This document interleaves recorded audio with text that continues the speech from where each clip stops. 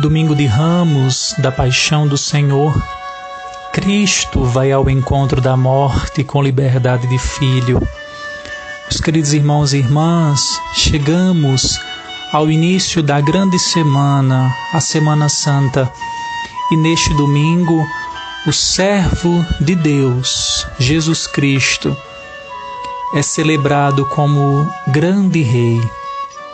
O grande rei que vem em nome do Senhor. As narrações que nós vamos ouvir neste domingo, tanto o evangelho que é previsto para a procissão, mesmo que não a tenhamos, e como as leituras, nós percebemos neste grande caminho que realmente Deus está conosco. Gostaria de tomar com vocês alguns elementos é, da reflexão desse texto para este dia a partir de uma pregação de Santo Antônio para o Domingo de Ramos, onde o santo vai pouco a pouco com as palavras desse evangelho, meditando sobre a beleza que há nelas mesmas. Aquilo que é lágrima para Deus é para nós uma gota destilada de amor.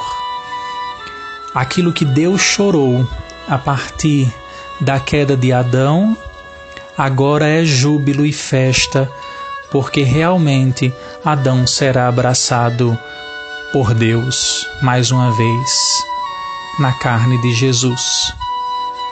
E diz Santo Antônio: Toma, pois, deste bálsamo e unge as tuas feridas, porque ele é o medicamento mais poderoso e eficaz para obter o perdão e para infundir a graça. Nós estamos neste grande dia de Ramos para meditarmos que a paixão de Jesus é realmente o grande bálsamo para as nossas feridas. Jesus faz um caminho até chegar a Jerusalém Primeiro ele passa por Betânia, que significa a casa da obediência. Depois ele passa por Betfagé, que significa casa da boca, representando a pregação de Jesus. Depois ele sobe aos montes das oliveiras, que significa monte da misericórdia, aonde Deus em Jesus realizará a grande misericórdia e a benignidade por nós, que muitas vezes somos cegos e leprosos, e muitas vezes até mortos. Mas para libertar a nós do gênero do pecado e de todo o mal, o Senhor também sobe ao deserto. Esse deserto que significa a Virgem Maria, um lugar perfeito de encontro. Betânia no qual nós vimos domingo passado na narrativa da morte de Lázaro, é a casa da aflição. É ali que o coração contrito é ajudado. Lázaro foi ressuscitado porque foi ajudado. E ele foi ajudado a sair na casa da contrição e se tornar assim alguém ressuscitado, alguém que fora ajudado pela graça. Depois, Marta apareceu no Evangelho de domingo passado e que também é relembrada no Evangelho deste domingo como alguém que, com o seu pranto, estimula a misericórdia de Deus e a confissão dos pecados. Marta teme o Senhor para que este mesmo Senhor seja sua ajuda. Maria apresenta aqui como aquela que derrama o nardo precioso. Esse nardo precioso é a genuinidade do seu coração, a sua autêntica dedicação naquilo que é a fé. Betfagé, que é a casa da boca, indica para nós a nossa confissão, do qual muitas vezes nós somos resistentes e não nos tratamos como verdadeiros hóspedes da casa de Deus.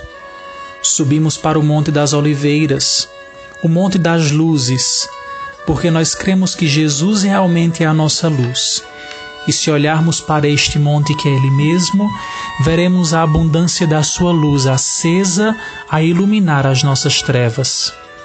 A verdadeira luz é aquela que busca uma satisfação diante de Deus, confessando a Ele as nossas faltas.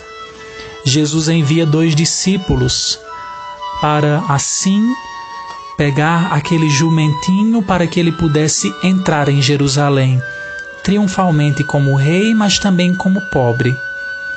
Esses dois discípulos representam Moisés e Arão, no qual nós vimos nessa quaresma os hebreus que são conduzidos por eles para saírem do Egito. Agora eles relembram para nós que nós também precisamos ser conduzidos por Deus para entrar na verdadeira terra, que é o coração de Deus. Aqui, a pregação de Jesus faz com que eles sintam a abundância da graça de Deus presente no seu meio. Assim, meus irmãos e irmãs, é preciso desatar as nossas seguranças para subirmos até Jerusalém. Jerusalém, que é o lugar santo. Jerusalém, que é para nós a imagem da eternidade, no qual nós cantamos no salmo que nós queremos subir para contemplar e termos a visão absoluta da paz do coração de Deus. Os mantos derramados sobre o chão significam assim que todos nós lançamos aquilo que muitas vezes é privado no nosso coração, as nossas paixões, as nossas vestes, os nossos desejos.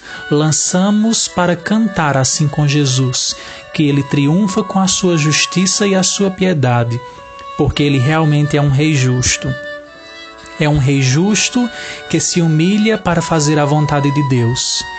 Jesus prefere a morte a desobedecer o desejo do Senhor. Adão preferiu a desobediência do que viver. Já Jesus não. Jesus, que não tem onde repousar a cabeça, repousa sua cabeça no alto da cruz, que é o seu leito, e obedece para que eu e você possamos mais uma vez sermos introduzidos no mistério da salvação. Assim, entusiasmados, nós entramos em Jerusalém com Jesus, estendendo as nossas vestes, que é o nosso coração, que são os membros do nosso corpo, para que todos esses nossos membros e as nossas vestes possam ser a rua pela qual Jesus entra. Que a nossa alma esteja também adornada e festejante para celebrar com a concórdia e a unidade o desejo de salvação que todos nós temos. Nós também somos a Igreja do Senhor, no qual aguarda triunfantemente os frutos da gloriosa vitória da entrada de Jesus em Jerusalém, uma entrada para a morte que gerará a vida. Osana interpreta a salvação. É como se eu e você estivéssemos dizendo: Salva, Senhor, o teu povo. Bendito significa aquele que é imune do pecado, aquele que é bendito, porque de modo particular vem a nós para honrar o Pai e nos fazer também honrarmos ao Pai. Virá o glorioso Senhor que nos salvará e nos levará para o céu, nos dará a redenção eterna e todos nós perceberemos que a nossa vida realmente pertence a Ele. Sejamos então dignos de glorificar o Senhor e louvando o Senhor na cidade de Jerusalém, nesta entrada triunfal de Jesus como Rei, possamos receber a sua bem-aventurança e participar da sua glória no céu. Que Jesus, nesse domingo, nos ajude a festejarmos a sua doação e percebermos que o seu amor por nós se deu no alto da cruz. Tudo está consumado e esta consumação é para nossa salvação. Que o Senhor te ajude a ter uma boa Semana Santa e que esta Semana Santa seja para a glória, louvor e honra de Cristo Rei Redentor. A você, meu irmão e minha irmã, muita paz e muita alegria da parte de Deus, nosso Pai, em comunhão com toda a Igreja.